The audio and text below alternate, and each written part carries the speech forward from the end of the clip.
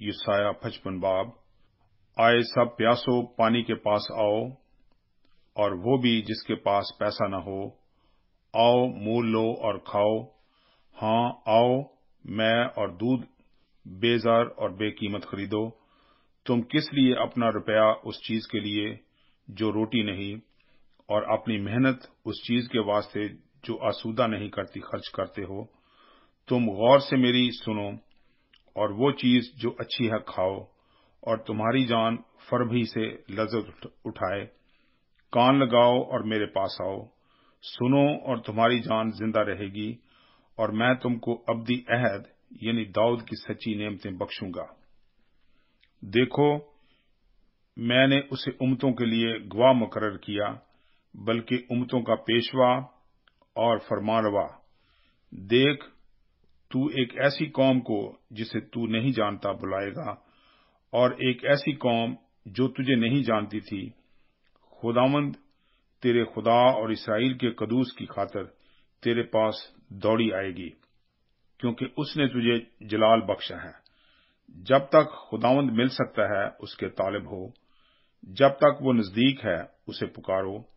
شریر اپنی راہ کو ترک کرے اور بدکردار اپنے خیالوں کو اور وہ خداوند کی طرف پھرے اور وہ اس پر رحم کرے گا اور ہمارے خدا کی طرف کیونکہ وہ کثرت سے معاف کرے گا۔ خداوند فرماتا ہے کہ میرے خیال تمہارے خیال نہیں اور نہ تمہاری راہیں میری راہیں ہیں، کیونکہ جس قدر آسمان زمین سے بلند ہے، اسی قدر میری راہیں تمہاری راہوں سے اور میرے خیال تمہارے خیالوں سے بلند ہیں۔ کیونکہ جس طرح آسمان سے بارش ہوتی اور برف پڑتی ہے اور پھر وہ وہاں واپس نہیں جاتی، بلکہ زمین کو سیراب کرتی ہے اور اس کی شادابی اور رویدگی کا باعث ہوتی ہے تاکہ بونے والے کو بیج اور کھانے والے کو روٹی دے۔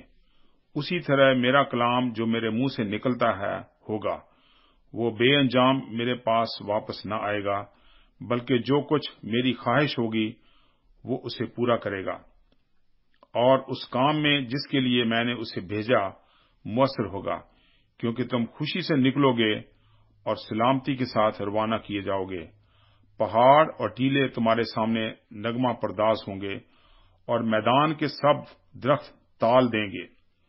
کانٹوں کی جگہ سنوبر نکلے گا اور جھاڑی کے بدلے اس کا درخت ہوگا۔ اور یہ خداوند کے لیے نام اور ابدی نشان ہوگا جو کبھی منقطع نہ ہوگا۔